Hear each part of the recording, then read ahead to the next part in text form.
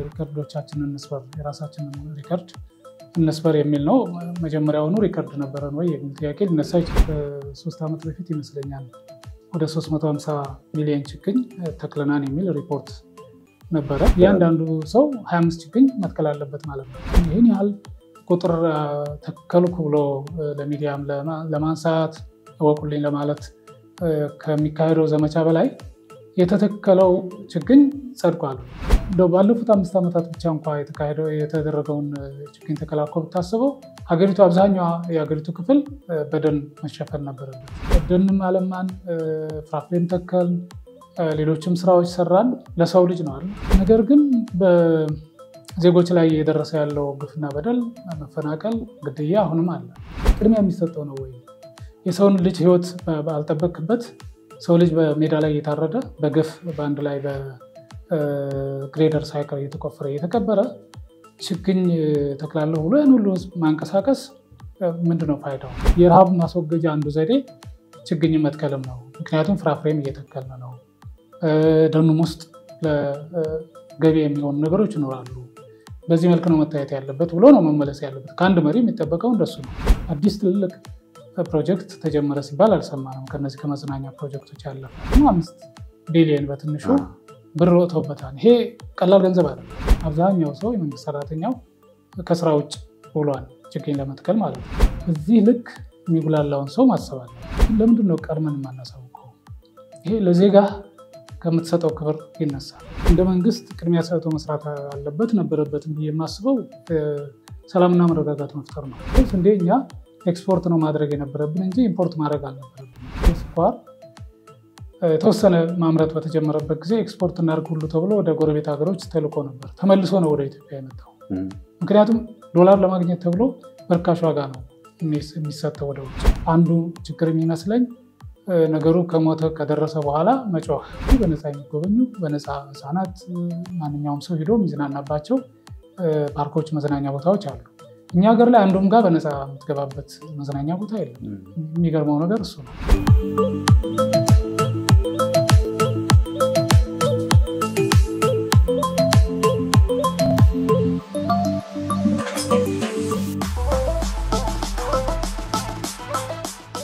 ጤና ይስጥልን ውድ የኛ ቲቪ ተመልካቾቻችን እንደምን ሰንብታችኋል?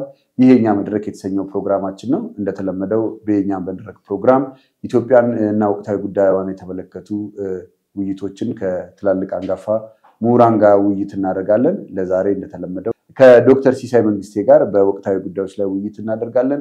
ከእሳቸው ጋር የምናደርገው ውይይት ላይ ብዙ ቁም ነገር እንደሚሸምቱ እርግጠኛ ነኝ። ስለዚህ ፕሮግራሙን እስከ መጨረሻው እንድትከታተሉ እንዲሁም ለሌሎች እንዲደርስ share እንድታደርጉ subscribe እያደረጋችሁን ቤተሰብ እንድትሆኑ ጋብዛለሁ። መልካም ቆይታ። ዶክተር እንግዲህ ያው በተለመደው ሰዓታችን ተገናኝተናል። ያው ተመልካቾቻችንን ስለ ኢትዮጵያ ላለው ችግር በእውቀት መፍትሄ እንድንሰጥ በተለያዩ አጀንዳዎች ላይ ውይይት እናደርጋለን። ስንተችም ስንቃወምም እችን ሀገር ወደ ተሻለ ሁኔታ በሚያመጣ መንገድ ከስሜታዊነት በጸዳ ሁኔታ ሀሳቦች እንድንሰጥ ነው እንግዲህ እዚህ መድረክ ላይ የምንወያየው። አንድ በጣም የናፈቁኝ ሰው ያሉ አቶ ወንድሙ ይብሳ እዚህ መድረክ ላይ ሁሌ የሚሏት አንድ ነጥብ አለ።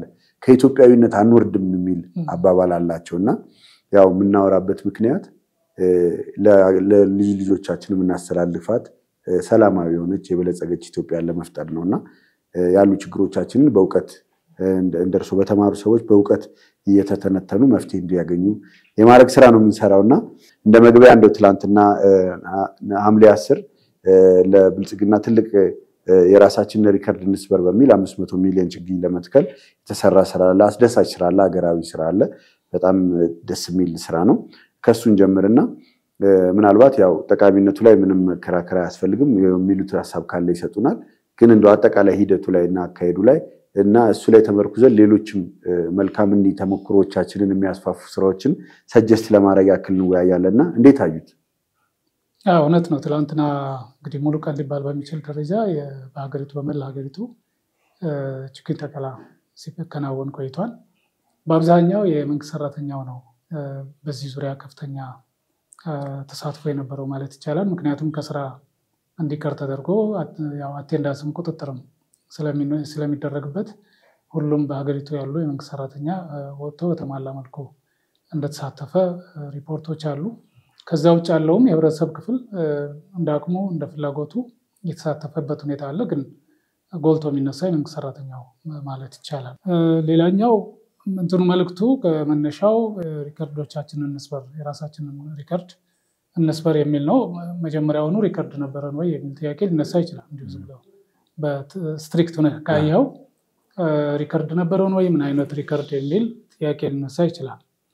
በሀገር ደረጃ እንደምታስታውሰው ከሶስት ዓመት በፊት ይመስለኛል ወደ 350 ሚሊዮን ችግኝ ተክለናን የሚል ሪፖርት ነበረ። እንደዚሁ ዘመቻ ተካሂዶ በአንድ ቀን ምናልባትም በዓለም ላይ ኢትዮጵያ የመጀመሪያዋ ነው ይሄን ያህል ቁጥር ስታስተክል የሚል ያኔም ንግግር ነበር። ማን መዝግቦት በምን ቆጠራ አስተካሂዶ የሚለው ጥያቄ ያስነሳል። ምክንያቱም ሪፖርቶችን በቀጥታ እንዳለ ማመን አንዳንድ ጊዜ ያስቸግራል። አንድ research ሊሰራ ወደ አንድ ክልል ክልሉ መጥቀስ አልፈልግም፣ ወደ አንድ ክልል የሄዱ ቡድኖች ለወረዳ ላይ ሄደው ሪፖርት እንዲሰጧቸው ይጠይቃሉ። እና የወረዳ አመራሮቹ ወይም ባለሙያዎቹ ምንድነው ያሉት? የትኛውን ሪፖርት እንስጣችሁ የሚል ጥያቄ ነበር ያነሱላቸው። እና ተመራማሪዎቹ በጣም ደነገጡ። ምን ምን አይነት ጥያቄ ነው? ያው የተለመደውን የምትሰሩትን ሪፖርት ነዋ የሚል ምላሽ ይሰጣሉ። ከዛ የወረዳ ባለሙያዎች ምንድነው ያሉት? አይ ሁለት አይነት ሪፖርት ስላለን ነው። አንደኛው ለክልል የምንልከው ነው። ሁለተኛው እኛው ራሳችን እዚሁ የሚቀር ትክክለኛው ሪፖርት ነው እና የትኛውን ብለን ነው የሚል ምላሽ ነበር የሰጧቸው። ተመራማሪዎቹ እኛ ትክክለኛውን ሪፖርት ነው የምንፈልገው፣ ምክንያቱም ወደ ክልል ሲሄድ ተደምሮበትም ነው የሚሄደው። የአሁኑም የዚህ አይነት ችግር ከሌለበት አምስት መቶ ስልሳ ሚሊዮን ችግኝ ከሀያ ሚሊዮን በላይ ህዝብ የተሳተፈበት ተተክሏል የሚል ሪፖርት በጠቅላይ ሚኒስትሩ በኩል ቀርቧል። የክልል ርዕሰ መስተዳድራትም እንደዚሁ በየክልላቸው ያስተከሉትን አቅደውት የነበረውን ከዛ አሁን በተጨባጭ የተተከለውን ቁጥር ነግረውናል። ብዙዎቹ ከእቅድ በላይ መትከላቸውን የሚያሳይ ነገር አለው። አንዳንዶቹ ክልሎች በዛ ደረጃ ይጠበቃሉ የሚል ጥያቄ ልታነሳ ትችላለህ። አሁን ጋምቤላ ለምሳሌ ሁለት መቶ ሶስት መቶ ሺህ ህዝብ በላይ አይደለም ህዝቡ አጠቃላይ ህፃናትን ጨምሮ ግን ከአስር ሚሊዮን በላይ ችግኝ ተክለናን እያሉ ነው። ምን ያህል ይታመናን? እሱን እንግዲህ ግምት ውስጥ ማስገባት ይጠይቃል። ቤኒሻንጉል ጉሙዝ ከግማሽ ሚሊዮን በላይ አይደለም አጠቃላይ ህዝቡ ብዛት ነገር ግን እንደዚሁ ከአስር ሚሊዮን በላይ ችግኝ አስራ አራት ሚሊዮን ችግኝ አስተከልን የሚል ሪፖርት ሲመጣ ለመቀበል ምናልባት የተወሰነ ጥንቃቄ ማድረግ ይኖርብን ይሆናል። ስለዚህ ሪፖርቶች ብዙ ጊዜ ይባዛሉ። የቁጥር ነክ ነገሮች በአንዱ በሌላው መልኩ የሚረጋገጡበት ሁኔታ ከሌለ አስቸጋሪ ነው የሚሆነው። ጠቅላይ ሚኒስትሩም የሰጧቸውን ሪፖርት ይዘው ነው የሚናገሩት በየሰዓቱ በየጊዜው ቴክኖሎጂውም ጥሩ ስለሆነ አሁን ላይ ምን ያህል እንደተተከለ ምን ያህል ህዝብ እንደተሳተፈ ሪፖርት ይደርሳቸዋል። ያን ሪፖርት check የሚያደርጉበት ሌላ መንገድ ያለ አይመስለኝም። አምኖ ከመቀበል የዘለለ የሚኖር ነገር አይደለም። የክልል ርዕሰ መስተዳደራትም ያው ከየወረዳው ከየዞኑ የሚደርሳቸውን ነው እንደ ሪፖርት አድርገው የሚወስዱት። ስለዚህ መነሻው ቀበሌ ላይ ወረዳ ላይ የተስተካከለ ሪፖርት እውነተኛ ሪፖርት ከሆነ የመጣው በጣም ትልቅ ነገር ነው። እስካሁን እንግዲህ በዓለም ላይ record ተብሎ የተያዘው ህንድ ይመስለኛል። በአንድ ቀን አምሳ ሚሊዮን ችግኝ ተተክሏል። ህንድ እንግዲህ እንደምታውቀው ወደ ከአንድ ቢሊዮን በላይ ህዝብ ያላት ሀገር ነች። ስለዚህ አምሳ ሚሊዮን ለህንድ ምንም ማለት አይደለም። እንግዲህ ህንድ እንኳ አምሳ ሚሊዮን ነው record የሆነ ለዓለም በአጠቃላይ ትልቅ record ተደርጎ ተወስዷል። ኢትዮጵያ በአጠቃላይ ህዝብ ብዛቷ ከመቶ ሀያ ሚሊዮን አይበልጥም ነው የሚባለው። አምስት አምስት ተክለን እንኳን ቢሆን ለምሳሌ ከዚህ ውስጥ እንዳልከው መቶ ሚሊዮን እንኳ ብታስበው አምስት አምስት ሚሊዮን ከአምስት ሚሊዮን ማነው ከአምስት ችግኝ በላይ እያንዳንዱ ሰው መትከል አለበት። ግን መቶ ሚሊዮኑ ህዝብም active አይደለም የሚሰራ አለው ወይ በእድሜ ትላልቅ ሰው አለ ወይ በእድሜ ትናንሽ ህፃናት አሉ። በህመም በተለያየ ሀገራዊ ጉዳዮች ምክንያት ምናልባት ግማሹ ሰው እንኳ አንዳንድ ቢተክል ብለህ ልታስብ ትችላለህ፣ ወይም አምስት አምስት ቢተክል እንኳ ብለህ ነገር ግን አሁን የተሳተፈው ሀያ ሰላሳ ሰው ወይም ሀያ ምናምን ሚሊዮን ነው የተባለው ከሀያ ሚሊዮን በላይ እንደሆነ ነው የተገመተው። ይሄ ሀያ ሚሊዮን አምስት መቶ ስልሳ ሚሊዮን ችግኝ ለመትከል እያንዳንዱ ቢያንስ ከአስር በላይ ነው ሀያ ሀያ ሚሊዮን ከሆነ ሀያ ወይ ሰላሳ ሀያ አምስት ሀያ አምስት ሚሊዮን በአማካይ ሀያ አምስት ችግኝ እያንዳንዱ ሰው ሀያ አምስት ችግኝ መትከል አለበት ማለት ነው። በእርግጥ ከዛም የበለጠ ቁጥር የተከሉ ይኖራሉ። ከዛ ያነሰ ቁጥርም የተከሉ ይኖራሉ። እንዲህ አይነት ግምቶችን መውሰድ አንድ ጥሩ ነገር ነው። ሁለተኛ ይሄ ችግኝ ያረፈበት መሬት ምን ያህል ስፋት ይኖረዋል የሚልም ግምት ሊወሰድ ይችላል። ከሶስት መቶ ሁለት ሚሊዮን ማነው ስኩዌር ኪሎ ሜትር በላይ የሸፈነ እንደሆነ ተጠቅሷል። በእርግጥ ነው ሊሸፍን ይችላል። አምስት መቶ ስልሳው በትክክል ከተተከለ ማለት ነው። እኔ ከዚህ ሁሉ አሁን ይህን ያህል ቁጥር ተከልኩ ብሎ ለሚዲያም ለማንሳት እወቁልኝ ለማለት ከሚካሄደው ዘመቻ በላይ የተተከለው ችግኝ ጸድቋል ወይ? አሁን ለምሳሌ ከሶስት ዓመት በፊት 350 ሚሊዮን ተክለናል ብለናል። ከ350 ሚሊዮኑ ምን ያህል ጸደቀ? ይሄ እንኳ በአሁኑ ሪፖርት መቅረብ ነበረብን። ከዚህ በፊት ይህን ያህል ሰርተን 350 ሚሊዮን በአንድ ቀን ተክለን ነበር። ከዚህ ውስጥ ይህን ያህል percent ኡ ወይም ይህን ያህል ሚሊዮኑ ጸድቋል፣ አድጓል። የተወሰነው ደግሞ ያው በተለያየ ምክንያት ከሽፏል። ይሄ ማነሳሻም ይሆን ነበር። በሱ መልክ ሪፖርት ሲቀርብ አልሰማሁም። ከጠቅላይ ሚኒስትሩም ከሌሎችም የሚመለከታቸው አካላት በየዓመቱ ብዙ ሚሊዮን ችግኝ ይተከላል። በመደበኛነትም በዘመቻም ምን ያህሉ ጸድቋል የሚል ጥያቄ አሁን እንደው ባለፉት አምስት ዓመታት ብቻ እንኳ የተካሄደው የተደረገውን ችግኝ ተከላ እኮ ብታስበው ሀገሪቱ አብዛኛዋ የሀገሪቱ ክፍል በደን መሸፈን ነበረበት። ላቅ ያለ percent ከሀገሪቱ ጠቅላላ መሬት ከፍ ያለ percent የሚሸፍን በደን መታየት ነበረበት። ይሄ በራሱ የሪፖርቱ አንዱ ክፍተት እንደሚኖረው መገመት ትችላለህ። ከዛ በኋላ ከተተከለ በኋላ ዞሮ የሚያይ አለመኖሩን ስለመጽደቃቸው ተንከባክቦ የማሳደጉ ጉዳይ ውስንነት እንዳለው እናይ ይሆናል። ሌላው ግን ጥሩ ነገር በአጠቃላይ ለዚህ መነሳሳት መፈጠሩ አንድ መልካም ነገር ብለን እንወስደዋለን። ከዛም ባሻገር ለሀገር ውስጥ እንትኖች ዝርያዎች ቅድሚያ የመስጠት በብዛት የሀገር ውስጥ ዝርያዎች እንዲሆኑ ለአየሩ ተስማሚ የሆነ ለሕዝቡም የሚያውቀው የለመደው እንዲሆን ለማድረግ የተደረገው ጥረት አሁንም ሪፖርቶችን መነሻ አድርገን በጣም የሚበረታታ ተደርጎ ሊወሰድ ይችላል። ከዚሁ ጋር ተያይዞ ሌላው ከወትሮ ለየት የሚለው የፍራፍሬ ተክሎች በደንብ ትኩረት ተሰጥቷቸዋል።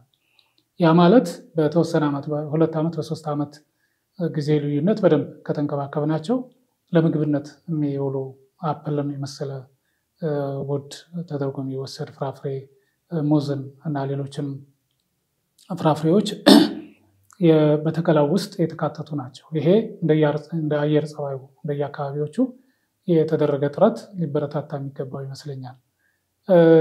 እንግዲህ ይህ ሁሉ ሆኖ ለማን ነው ይህን ሁሉ የምናደርገው የሚል ጥያቄ ነው እንግዲህ አብሮ ተያይዞ መነሳት ያለበት የሚመስለኝ። ደንም አለማን፣ ፍራፍሬም ተከል፣ ሌሎችም ስራዎች ሰራን ለሰው ልጅ ነው አለ ለማንም አይደለም። ዝም ብሎ አገር ደን አልብሶ ለጌጥ ወይም ለውበት አይደለም። የኢትዮጵያ ሕዝብ እንዲጠቀምበት ነው። የየአካባቢዎቹ ነዋሪዎች የዛ ትሩፋት ተጠቃሚዎች እንዲሆኑ፣ በአጠቃላይ ደግሞ ሀገሪቱ በዚህ ረገድ ከድርቅ እና በየጊዜው ከሚካሄድ መራቆት፣ ከጎርፍ አደጋዎች ምናምን እንዲከላከል ነው ይሄድን። ነገር ግን በዜጎች ላይ እየደረሰ ያለው ግፍና በደል፣ መፈናቀል፣ ግድያ አሁንም አለ፣ ቀጥሏል። እሱም ባላስቆምንበት ሁኔታ የሚካሄድ ችግኝ ተከላ ከዚህ በፊት ታስታውስ ከሆነ በ350 ሚሊዮን በተባለው መሰለኝ። በጣም በብዛት ሰው ይገደል ነበር፣ በተለይ ወለጋ አካባቢ ምናምንና ፓርላማ ላይ እዚህ አይነት ጥያቄ ለጠቅላይ ሚኒስትሩ ሲቀርብላቸው ቢያንስ ጥላው ለሬሳዎች ሊሆን ይችላል፣ ሬሳው ጥላ ሊያገኝ ይችላል፣ መትከላችን ተገቢ ነው የሚል ሀሳብ ነበር። አንዱ በጣም የተሳሳተው ነገር እዚህ ላይ ምንድን ነው ችግኝ አትትከሉ የሚል ሀሳብ ያነሳ ሰው የለም። ለምን ተከላቸው የሚል ጥያቄም ያቀረበ የለም። ቅድሚያ የሚሰጠው ነው ወይ? የሰውን ልጅ ሕይወት ባልጠበቅበት ሰው ልጅ በሜዳ ላይ እየታረደ በግፍ በአንድ ላይ በግሬደር ሳይቀር እየተቆፈረ እየተቀበረ ችግኝ ተክላለሁ ብሎ ያን ሁሉ ሕዝብ ማንቀሳቀስ ምንድነው ፋይዳው? ለሰው ልጅ የሚጠቅም እስካልሆነ ድረስ የሚል ጥያቄ ነው የነበረው እና የተሰጠው ምላሽ ግን ጥያቄውን መንፈስ ያልተረዳ በጣም የተሳሳተ ተደርጎ ሊወሰድ ይችላል። አሁንም ትላንት በሰጡት መግለጫ ላይ የታዘብኩት ነገር ያንኑ ነው የደገሙት፣ ወይ በሌላ መልኩ የገለጹት ምንድን ነው ያሉት? ችግኝ አትትከሉ ይሉናል፣ መትከላችን እንቀጥላለን።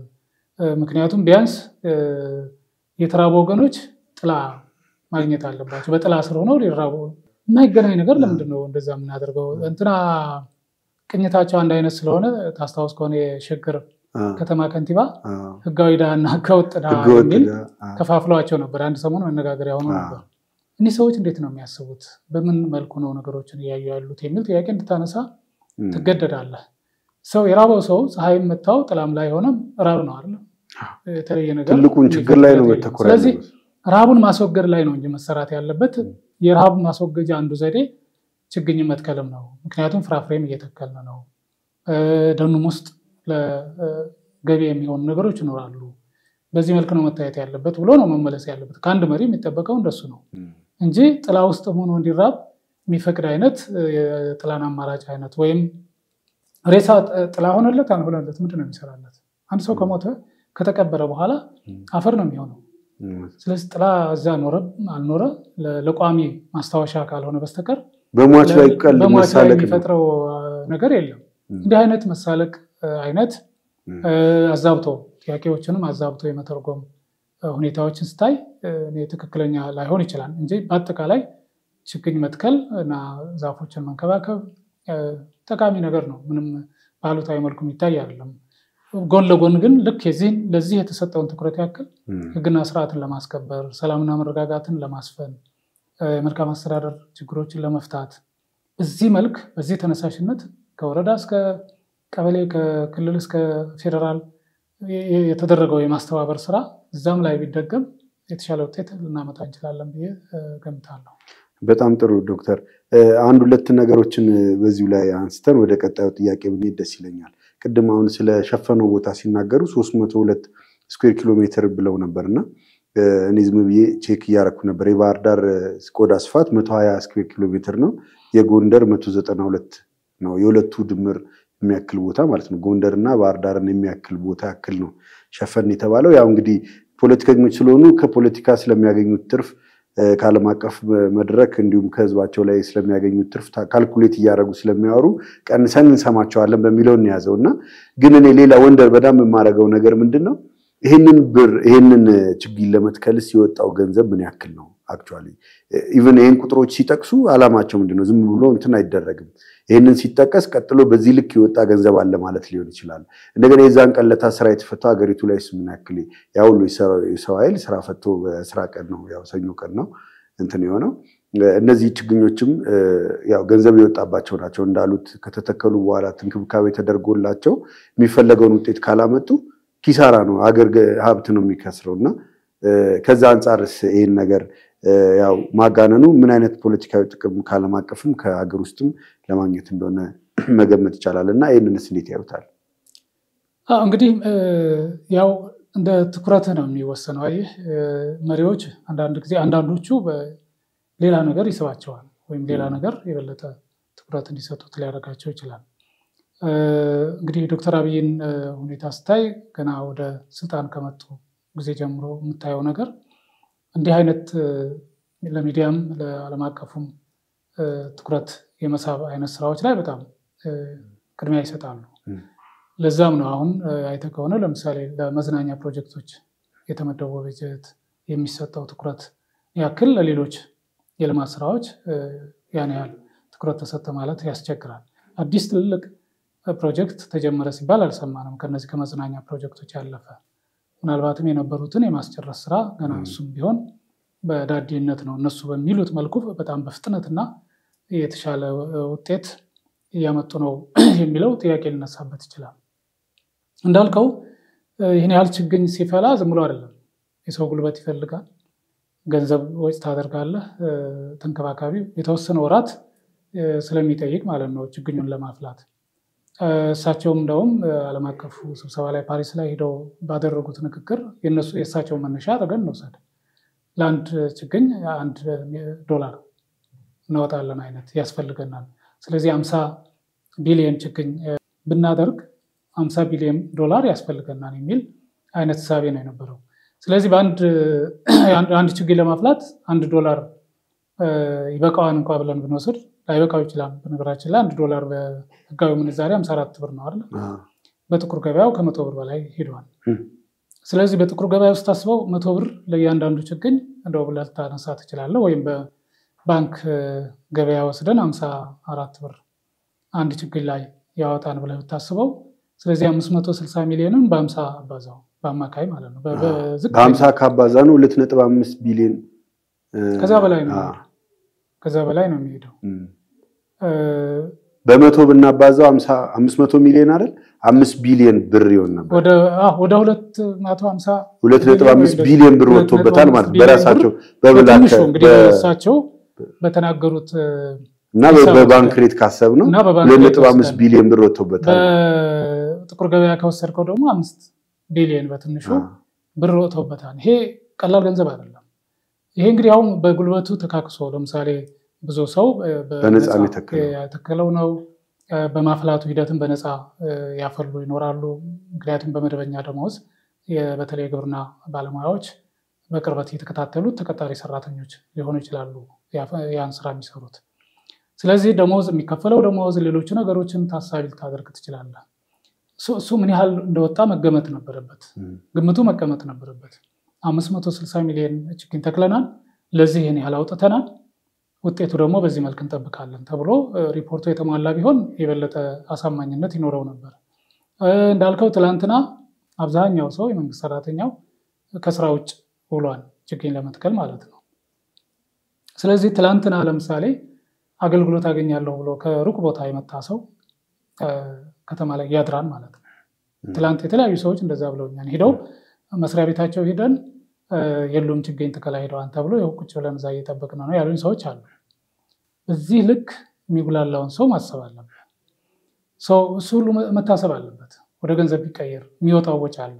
አልጋ ይዞ የሚያድር ይኖራል። ምግብ ገዝቶ የሚበላ ይኖራል። ለትራንስፖርት ወጪ አውጥቶ ነው እዛ ቦታ ሄዶ። ምክንያቱም መጀመሪያውኑ ስራ የለም በዚህ ቀን ተብሎ መነገር ነበረበት። ይሄ ሲታወቅ አስቀድሞ ገና አርብ፣ ሐሙስ ፕሮግራሙ ይታወቃል። የዘመቻ ስራ እንደሆነ ይታወቃል። ስለዚህ የመንግስት መስሪያ ቤቶች ሰኞ አገልግሎት ለማይሰጡ ባለጉዳዮች፣ ተገልጋዮች እንዳትመጡ ወደ መስሪያ ቤቶች ተብሎ እኮ መነገር ነበረበት። ወይ ሰዓት የሆነ ሰዓት ገድበው ለምሳሌ እስከ ስድስት ሰዓት ከሆነ ተከላው እስከ ስድስት ሰዓት ቢሮ አገልግሎት አይኖርም ተብሎ መገለጽ ነበረበት። የተንገላቱ የህብረተሰብ ክፍሎች እንዳሉ ማሰብ መቻል አለብን። okay ለበጎ ነው ብለን እንውሰደው፣ ለመልካም ነገር ነው የተሰራው የወጡት ብለን እንወስድ እንችላለን። ግን ለምንድን ነው ቀድመን የማናሳውቀው? ይሄ ለዜጋ ከምትሰጠው ክብር ይነሳል። ስለዚህም ላይ የዜጎችን መንገላታት ልታካክሰው አትችልም በዚህኛው እና እንዲህ እንዲህ አይነት ክፍተቶች፣ ጉድለቶች ይኖራሉ። ያው ስራ ሲሰራ ሁሉም ነገር በተሟላ መልኩ ይታያል። በጥራት በመልካም ነገር ብቻ ይሄዳን ተብሎ አይገመትም። ጉድለቶች፣ ክፍተቶች ቀድሞ ያልታዩ ወይም ሊታዩ ያልቻሉ ሁኔታዎች እንደሚኖሩ ማሰብ መቻል አለብን እና በአዎንታዊ መልኩ እንየውና እንደው የተባለው ቁጥርም እውነት ሆኖ መሬት ላይ አርፎ ብናየው ደስ ይለናል። እንዳልከው ባህር ዳርና ጎንደር ከተማን ያክል የሚሸፍን ችግኝ ነው የሚሆነው፣ ምንም ጥርጥር የለውም። ወይም አዲስ አበባን እና ከአዲስ አበባ በላይ ሊሸፍን የሚችል ነው። እንደውም አንዳንዶቹ ምንድነው ሲባል የነበረው አምሳ ቢሊዮን ችግኝ አፍልተን ልንተክል እንችላለን የሚል ጠቅላይ ሚኒስትሩ ሲያነሱ አምሳ ቢሊዮኑን ችግኝ ለኢትዮጵያ መሬት ነበር ያካፈሉት። እንግዲህ አንድ ነጥብ አንድ ሁለት ስኩዌር ኪሎ ሜትር ነው የኢትዮጵያ ስፋት። ስለዚህ አንድ ችግኝ ወይም አንድ ተክል ስንት ካሬ ሜትር መሬት ላይ ነው ማረፍ ያለበት የሚለው ይታወቃል። እሱን ሁሉ አስበው አንዳንዶቹ ሲቀልዱ ነበረ። አትበቃውም ኢትዮጵያ ምክንያቱም ከተማ አለ፣ የእርሻ መሬት አለ፣ የከብት ግጦሽ አለ፣ አሁንም ደን የሆኑ ቦታዎች አሉ። እነዚህ ሁሉ ተደምረው ክፍት የሆኑ ቦታዎች ላይ አሁን ያን አምሳ ቢሊዮን ችግኝ ንትከል ቢባል ቦታ አይበቃም የሚል ይተርፋን የሚል ስሌቶች ይሰሩ ነበር አንዳንዶቹ። እንግዲህ ምን ያህል ትክክል ነው ሌላ ጉዳይ ሆኖ ማለት ነው። ዞሮ ዞሮ ግን ጊዜ ጠብቆ በዘመቻ እንዲህ አይነት ነገር መስራት አንድ ነገር ነው። ሁለተኛ ገለልተኛ የሆነ አካል ቢያየው ነው። record ኡ መሰበር አለመሰበሩን ማረጋገጥ የሚችለው ገለልተኛ የሆነ አካል ነው። ምናልባትም የዓለም የ record መዝጋቢው አካል ይሄን እውቅና የሰጠው አይመስለኝም። የሶስት መቶ ሀምሳውንም እውቅና አልሰጠውም ነበር። እንግዲህ ህንዱን ሀምሳ ሚሊዮን እውቅና ሲሰጥ ለምን የኢትዮጵያን record ለመመዝገብ እንዳልፈለገ ወይም አስቀድሞ አልተነገረውም ወይም አልተሳተፈበትም ወይ አላመነበትም። እንዲህ አይነት ነገሮች ሊኖሩ ይችላሉ። እነሱ ሁሉ secondary ናቸው። ለእኔ ሁለተኛ ነው። ዋናው መልማቱ እና በትክክል መሬት ላይ ማረፉ ነው መታሰብ ያለበት። ከዚህ ጋር የጂ ከዚህ ጥያቄ ሳልወጣ ማንሳት የምፈልገው ነገር መንግስት ያለው ቅቡልነት እንግዲህ ከበፊቱ አሁን ለምሳሌ የመንግስት ሰራተኞች ብቻ የተሳተፉበት የስራ ቀን ነው የተደረገው የሚለውን ይዘን ከዚህ በፊት ከነበረው አንጻር ስናየው የግል ሴክተር ላይ ያሉ የተለያዩ ተቋማት ሳይቀር በዘመቻ መልክ ተሳትፈው ነበር። ያኔ እንኳን እንደዛ ተዘምቶ ያው 350 ሚሊዮን የተባለው አሁን ደግሞ የመንግስት ሰራተኞች ብቻ ነው በአብዛኛው የተሳተፉት እና መንግስት ቅቡልነቱንና በህዝብ ዘንድ ያለውን ተጽዕኖ ፈጣሪነቱ ጥሩ ቢሆን ከዚህ በላይ መስራት ይቻላል ብዬ አምናለሁኝ እና አንድ ነገር ግን በዚህ motive ቢያዝ ብዬ እርሶም ምናልባት በደንብ እንዲያሰፉት ብዬ የማስበው በ actually ካሉብን core core ችግሮች ውስጥ ለምሳሌ የኑሮ ውድነት አለ። የኑሮ ውድነት፣ የምግብ እጥረት አለ። አሁን በኋላ ብናነሳውን ጥያቄ ላይ ያካተትኩት ምንድነው የአማራ ክልል ላይ የማዳበሪያ እጥረት አለ። ከዛ ጋር ተያይዞ ወይም እንደገና ደግሞ ጦርነት ባለበት አካባቢዎች ወደ ቆቦ ምናምን መስመር ማረስ ባለበት በዚህኛውም ወቅት እንግዲህ በዚህኛውም ዓመት እያረሰ አይደለም፣ ስጋት ስላለበት ማለት ነው። ስለዚህ እነዚህ እነዚህ ሁኔታዎች እንግዲህ የሚቀጥለው ዓመት ላይ ከፍተኛ የምግብ እጥረት ሊያመጡ ይችላሉ ብለን መገመት እንችላለን። ከዛ አንጻር እነዚህን ችግሮች በተጨባጭ የሰውን ሕይወት impact የሚያደርገውን በሚቀጥለው ዓመት የምንገዛውን ጤፍ የምንገዛውን ስንዴ ዋጋ በግማሽ የሚቀንስ ወደ ሩብ የሚያወርድልን ስራዎች በሞራል አነቃቅቶ ቢሰራ መንግስት በዚህ መንገድ በዚህ አሁን ችግኝ እንደተከለው ምናልባት ይሄ ዘላቂ ጥቅም ስላለው መቼም ከዕለት እንጀራ ጋር ላናወዳደረው እንችላለን። ግን ካለብን acute ከሆነው ችግር acute የሆነውን ችግራችንን የኑሮ ውድነትና የምግብ እጥረት ላይ ያለውን ረሃብ ላይ ያሉት ችግሮች ከመፍታት አንጻር ምን ምን ስራዎች ልክ እንደዚህ ሊሰሩ ይችላሉ? recording ኡን እንትኑን የተዛባ መረጃውን ሪፖርቱን በሙሉ ትተነው ወደ ጎን ግን በዚህ መነቃቃት ውስጥ ህዝቡን ብናስተባብረው ሁሉንም ህዝብ ያሳተፈ ሀገርን የሚጠቅም ምን ምን ነገሮች መሰራት ይቻል ነበር? ያ የመጀመሪያው ነገር እንዳልከው ቅድሚያ ሰጥተህ ልትሰራ እንደ መንግስት ነው እንግዲህ የምናወራው። ስለዚህ እንደ መንግስት ቅድሚያ ሰጥቶ መስራት አለበት ነበረበትም ብዬ የማስበው ሰላምና መረጋጋት መፍጠር ነው በመላ ሀገሪቱ ከየትኛውም ጫፍ ወደ የትኛውም ጫፍ ለመንቀሳቀስ ከአዲስ አበባ ወደ የትኛውም አቅጣጫ ለመሄድ ከየትኛውም አቅጣጫ ወደ አዲስ አበባ ለመምጣት የሚሳቀቅ የሚቸገር ዜጋ መኖር የለበትም። ይሄ እንዳይኖር በዘመቻ መልክ መሰራት አለበት ወይም ነበረበት ብዬ አስባለሁ። ለዚህም ምልህ የታጠቀ ኃይል አለ።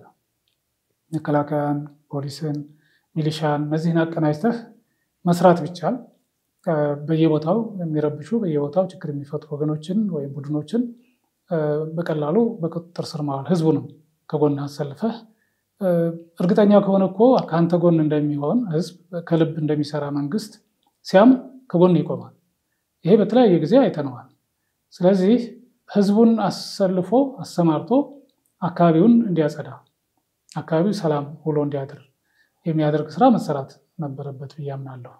ከዚሁ ጋር ተያይዞ የህዝብ ስሜትና ፍላጎት ምንድን ነው የሚለው መጠናት ነበረበት።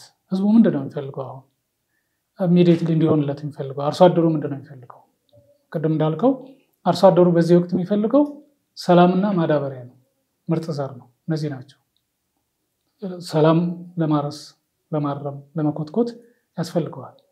ጥይት በአጠገቡ የሚጮህ ከሆነ ተረጋግቶ ሊሰራ አይችልም። ተባራሪም ይገለዋል። ስለዚህ ሰላም እንዲኖርለት ይፈልጋል። ከዛ ማዳበሪያ በጊዜ እንዲቀርብለት ይፈልጋል። ምርጥ ዘር በወቅቱ እንዲቀርብለት ይፈልጋል። ይህን ካገኘ ገበሬው ሌላ ምንም የሚፈልገው ነገር የለም። ይሄ ደግሞ ለቀጣዩ ህይወት ትልቅ ትርጉም አለው። ለራሱ ብቻ አይደለም፣ ለከተማ ነዋሪው፣ ለሀገሪቱ በአጠቃላይ ትርፍ ምርት አምርቶ ለገበያ ካላመጣ ከየት ነው የሚመጣው? የምግብ እህልም ሁልጊዜ import ማድረግ አለብን፣ ዶላር ፍለጋ መሄድ አለብን። ሲሆን እኛ ኤክስፖርት ነው ማድረግ የነበረብን እውነቱን ለመናገር አንደኛ ከህዝብ ብዛታችን አኳያ፣ ሁለተኛ መሬታችን ለምነትና ስፋቱ አንጻር ካየው ስንዴ እኛ ኤክስፖርት ነው ማድረግ የነበረብን እንጂ import ማድረግ አልነበረብንም። በእርግጥ በዚህ ዓመት ኤክስፖርት አድርገናል እየተባለ ነው። በስርቆትም ምን ያህል አሳማኝ ነገር ነው? ተመልሶስ እንዲያው በተለያየ መልኩ አልገባም ወይ የሚል ጥያቄ የሚያነሱ ወገኖች አሉ። ግን እንደው መጀመሩ አንድ ነገር ነው። ችግሩ የሚሆነው የራስ ስንዴ አቅርቦት በበቂ ሁኔታ ገበያ ላይ ሳይኖር ያችን የተመረተችውን ለኤክስፖርት አድርገናል በሚባል ሪፖርት ብቻ ወይም ለታይታ ብቻ መሰራት የለበትም። የዳቦ ፋብሪካዎች እኮ በስንዴ እጥረት ተዘግተዋል። ሸገር ዳቦ ፋብሪካ እንደቆመ ታውቃለህ? ለምንድን ነው የሆነው? የስንዴ አቅርቦት በበቂ ሁኔታ ስላልነበረ የግዢ ስርዓቱም የራሱ ችግሮች ስለነበሩበት ያን ለማስተካከል ነው። ሌሎች በየቦታው በየአካባቢ ያሉ እንደው ሌላው ቀርቶ ቀዳማዊት እመቤት ያሰራቻቸው የዳቦና የዱቄት ፋብሪካዎች በሙሉ አቅማቸው እየሰሩ ነው ወይ? እስካሁን አይዶነ ሰባት ክልሎች ላይ ይመስለኛል ሰርተዋል። በቅርቡ ሀረር ላይ አስመርቀዋል። ስለዚህ ቢያንስ እነዚህ በየከተሞቹ የተቋቋሙት ከሶስት መቶ ሺህ ያላነሰ ዳቦ ይጋግራሉ የሚል ነው የዳቦ ፋብሪካዎቹ።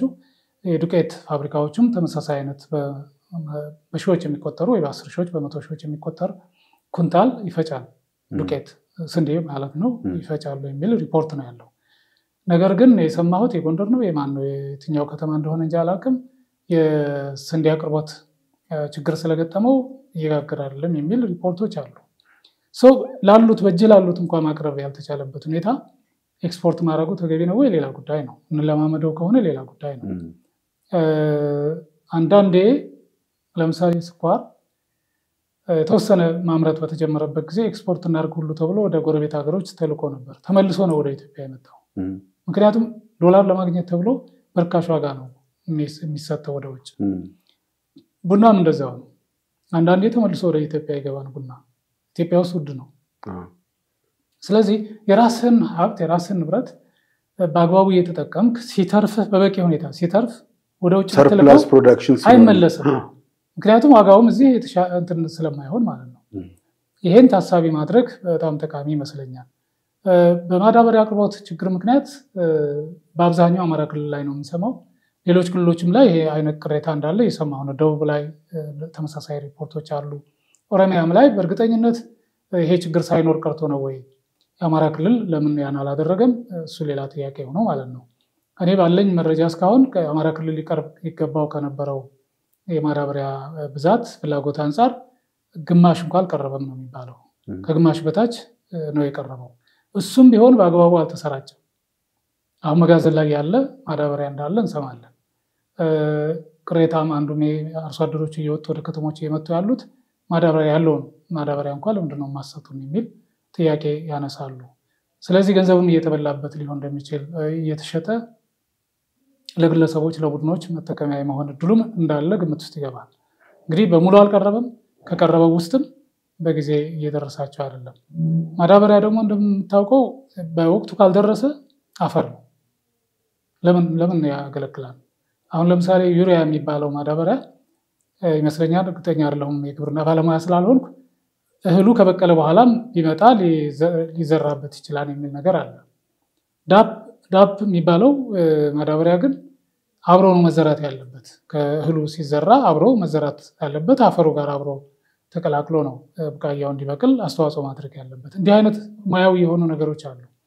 ስለዚህ አሁን አብሮ መዘራት የነበረበት ማዳበሪያ እህሉ ተዘርቶ ካደገ በኋላ ቢመጣ ምን ትርጉም አለው? ወይም ደግሞ ከበቀለ በኋላ በቡቃያ ላይ የሚጨምረው ማዳበሪያ ቀድሞ ቢመጣ ምን ትርጉም አለው? ገንዘቡን ከመያዝ የዘለለ ትርጉም አይኖረውም። ሲቆይ ደግሞ ይበላሻል። ጥራቱን እየቀነሰ ነው የሚሄደው። ስለዚህ ሚስማችም አለ ነው የሚባለው። አንዱ የተፈለገው አለመቅረብ መጠኑ ማነስ ብቻ ሳይሆን የተፈለገውም አይነት ማዳበሪያ ያን ታሳቢ ያደረገ ማዳበሪያም ያለመቅረብ ችግር ይነሳል። ይሄን እንግዲህ የበለጠ የግብርና ባለሙያዎቹ በደንብ መግለጽ እና ማጋለጥ አለባቸው ብዬ አስባለሁ። ሁለተኛው አማራ ክልል ላይ ሁለቱም ችግሮች ናቸው ያሉት። አንደኛ የሰላም መታጣት አለ። የሰላምና መረጋጋቱ በተስተካከለና በተሟላ መልኩ አይደለም ያለው። ሁለተኛው ማዳበሪያ በጊዜ አልቀረበም። ስለዚህ እዚህ ክልል ላይ በጣም ምርታማ ነው። እንግዲህ አማራ ክልል እንደምታውቀው በሪፖርቶች የምናየው አርባ በመቶ የሚሆነ የሀገሪቱን አጠቃላይ የምግብ እህል ፍላጎት ከአማራ ክልል ነው የሚገኘው ነው የሚባለው። ከዚህ ውስጥ ደግሞ ጤፍ በብዛት ከአማራ ክልል ከጎጃም ነው የሚመጣው። ሌሎች እዚህ ሸዋ አካባቢ አለ፣ ግን ከአዳ እና የተወሰኑ ወረዳዎች በስተቀር በሁሉም በብዛት ጤፍ የሚያመርት አለ። ስለዚህ አብዛኛው የጎጃም አካባቢ ጤፍ ያመርታል። ቀላል ግምት የማሰጠው ጎንደርም ይሁን ወሎ፣ ሸዋም አካባቢ የጤፍ ምርት አለ።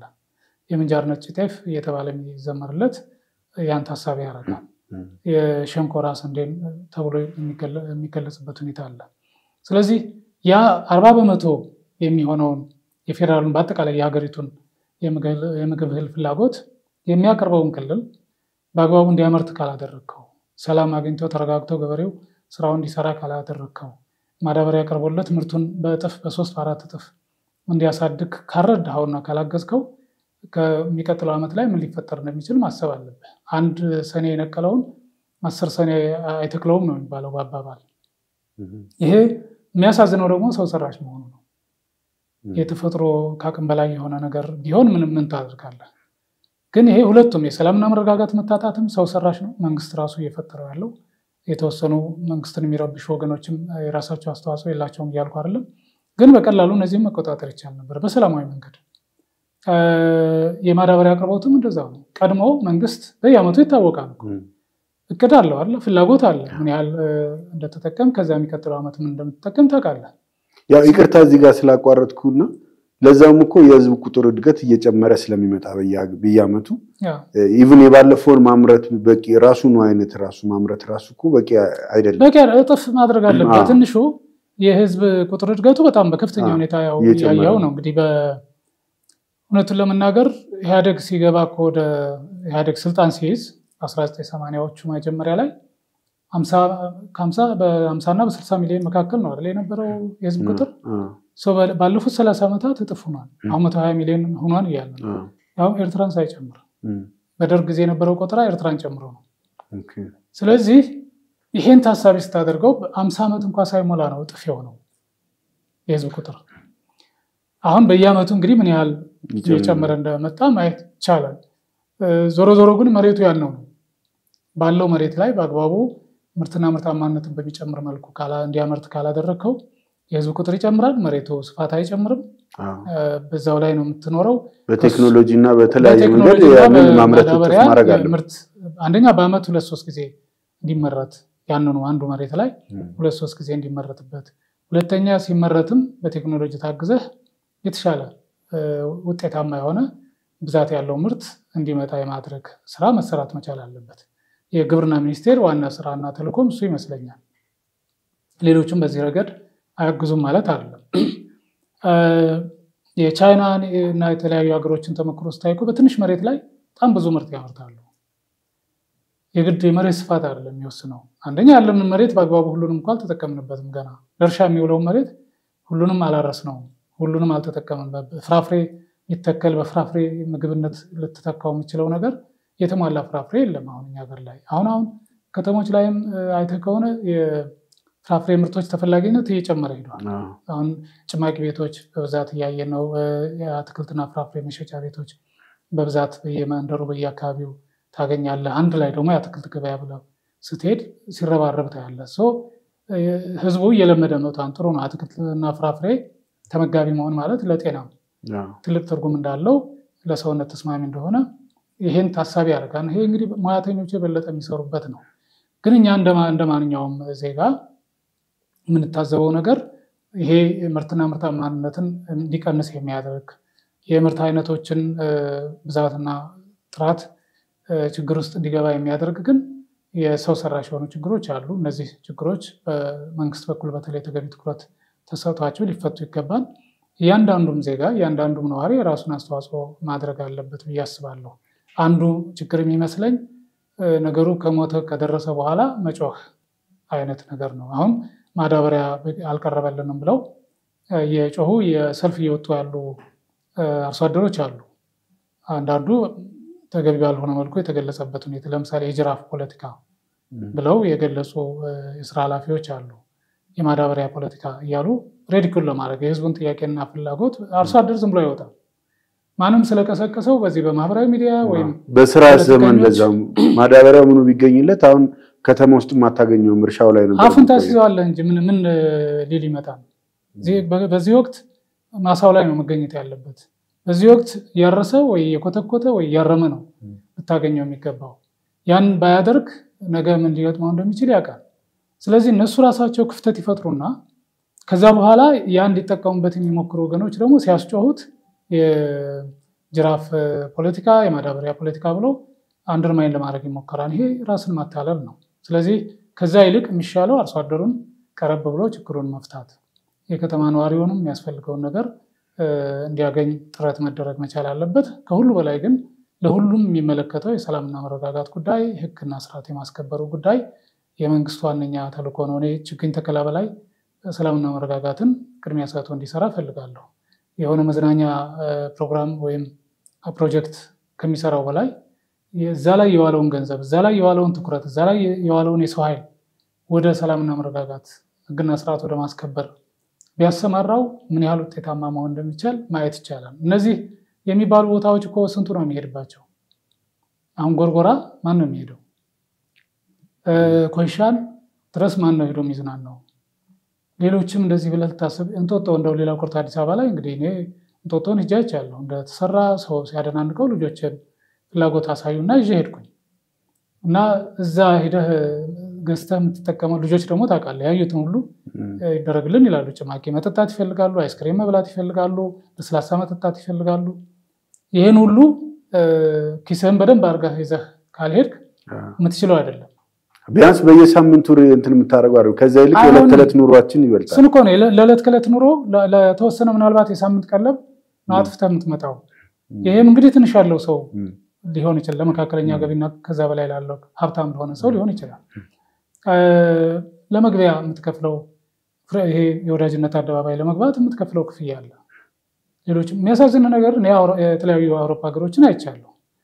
ፐብሊክ ፓርኮች አሉ እና በነፃ ነው ልጆችን ይዘው ሄደህ ውሻ ያለው ውሻውን ይዘው ሄዶ የውሻ መዝናኛ ፓርክም አለ ነገራችን ላይ እና ጓደኛሞች ውሾቻቸውን ይዘው ሄደው ውሾችም ይዝናናሉ፣ ባለቤቶቹም ይጫወታሉ። እና በነፃ የሚታዩ በነፃ የሚጎበኙ በነፃ ህፃናት ማንኛውም ሰው ሄዶ የሚዝናናባቸው ፓርኮች፣ መዝናኛ ቦታዎች አሉ። እኛ ሀገር ላይ አንዱም ጋር በነፃ የምትገባበት መዝናኛ ቦታ የለም።